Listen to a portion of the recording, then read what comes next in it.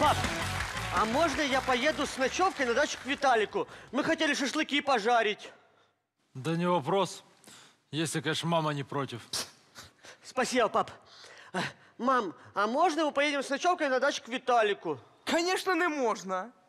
Мам, ну ты как всегда. Слухай, а що це ти до Віталіка його відпустив? Ну, Потому что я знал, что ты его не отпустишь. А, то і все виходить, ти хороший, а я зараза, да? Щас ти заразою побудеш. Сина, іди сюди. Что такое, мам? Сина, коли я тебе не відпустила, я не це мала на увазі. Е, Просто я думала, що у нас своя дача є, яку недавно папка достроїв. Ага, можете всі їхати до нас, якщо, звичайно, тато не проти. Пап, ты не против? Конечно, не против.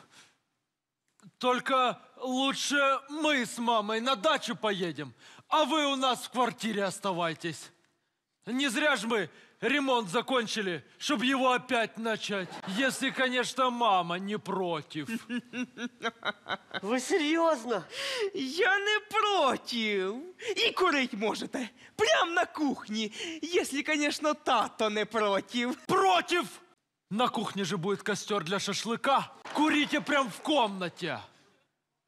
Если, конечно, мама не против. Точно? Точно! И бухла побольше купите. Та наша ж куплять? У батька в барі стоїть колекціонна бутилка віскаря. Так, а папа ж хотел его открыть, когда будет выходить на пенсию. Ну ничего, сынок. Виталик тоже не каждый день к тебе приходит. Можно брать. Сина, там у папи в газеті чай, то не чай. Бери скільки захочеш, якщо, звісно, тато не проти.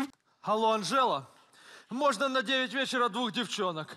Э, Сыночку моему поразвлекаться. Если, конечно, ты не против. Конечно, не проти. О! Синок, на, тут рівно грам.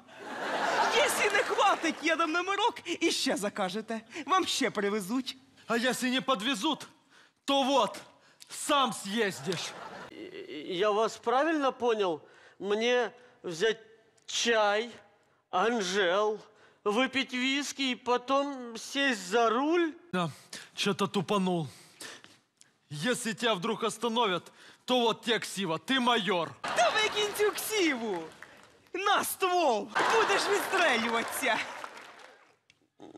Ну, ничего себе! Да какое ничего себе! Тут прям нихуя себе! Матерись, сынок!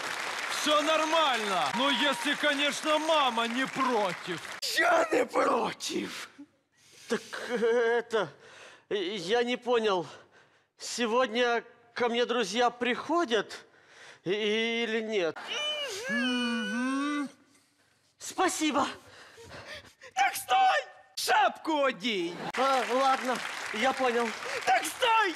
Я так більше не можу. Значить так, ти нікуди не їдеш. Yes! А! Сина, тебе треба правильно воспитувати. І якщо у нас вдома нема мужика, то я буду мужиком. То есть я не мужик, да? Так, сынок, а ну иди сюда. Остаешься дома и месяц без компьютера. Місяць без світла. Месяц без солнца. Місяць в подвалі будеш жити. Месяц будешь жить. Не больше. Извините, я понял. Никаких друзей. Ни, никогда никаких друзей. То-то же.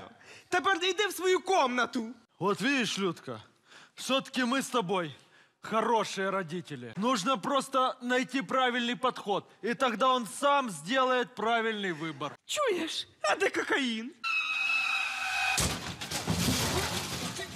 Сука, я майор, стоять!